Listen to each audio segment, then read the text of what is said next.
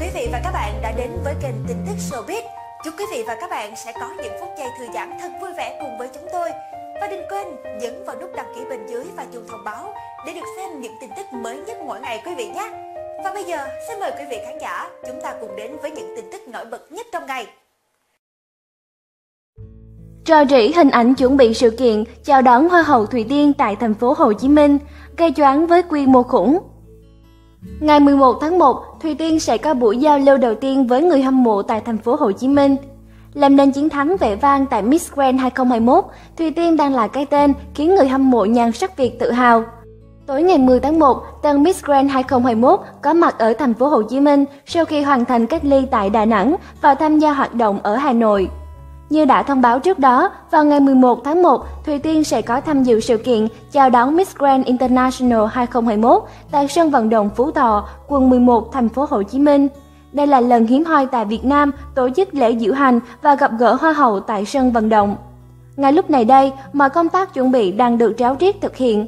Những hình ảnh đầu tiên về sân khấu trong sự kiện của tân Miss Grand 2021 cũng dần được hé lộ cực hoành tráng. Sân khấu lớn siêu lộng lẫy tại sự kiện chào đón Thùy Tiên. Dàn âm thanh, ánh sáng đầu tư hứa hẹn sẽ khuấy động trong sự kiện Thùy Tiên gặp gỡ người hâm mộ tại thành phố Hồ Chí Minh. Chỗ ngồi trong sân vận động cũng đã được ekip sắp xếp đầy chỉnh chu và tỉ mỉ. Không những thế, người hâm mộ còn được chiêm ngưỡng vương miện siêu to khổng lồ của Miss Grand 2021, nhìn là biết sự kiện chào đón này khủng cỡ nào.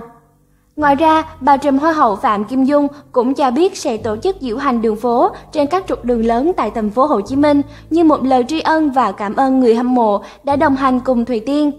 Những hình ảnh về xe buýt hai tầng cùng đoàn xe diễu hành cũng dần được chia sẻ trên mạng xã hội, khiến dân tình vô cùng nôn nóng được xem. Rất nhiều băng rôn cũng như biển hiệu của người đẹp đã được treo để sẵn sàng bùng nổ vào ngày 11 tháng 1. Thùy Tiên sẽ cùng ekip và người hâm mộ tham gia sự kiện diễu hành trên xe buýt 2 tầng đến sân vận động Phú Thọ. Tối ngày 10 tháng 1, Thùy Tiên lộ diện đầy rạng rỡ và tươi tắn tại sân bay Tân Sơn Nhất. Xin chân thành cảm ơn quý vị và các bạn đã quan tâm và theo dõi video. Hãy nhấn vào nút đăng ký bên dưới để theo dõi những video mới nhất được cập nhật mỗi ngày quý vị nhé.